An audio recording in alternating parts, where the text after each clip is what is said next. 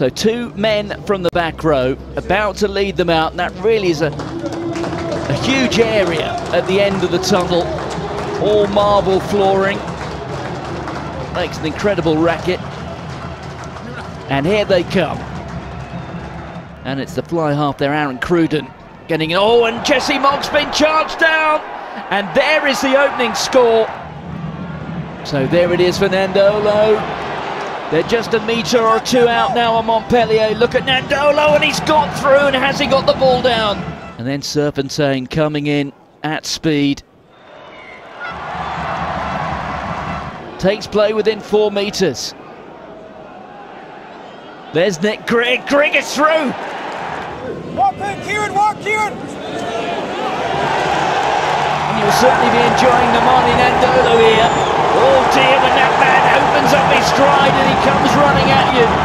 He's such a prospect. But in the end, what a tackle coming in from of all men, Ali Price, on the occasion of his 50th appearance. He just ran straight through everyone else, but the danger not gone. Van Dan Debbie out to Immelman. And now Montpellier have their third try. Here he is.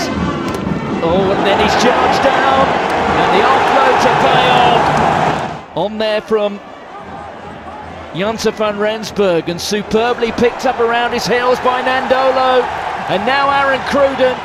He finds the support from Henry Immelman. And Immelman can jog in. And surely now that is the match. Grigg, well, I think we can assume that that... Oh, Oh, an beautiful inside ball. ball. That was quite brilliant. And here comes the score. And we'll uh, pull one or two over the coals and say, look, we've got 10 points here, but there was an awful lot that was wrong about this performance. But the reality is they came into these Dec- December fixtures looking for home and away victories. They've done better than that. They picked up 10 points out of a possible 10.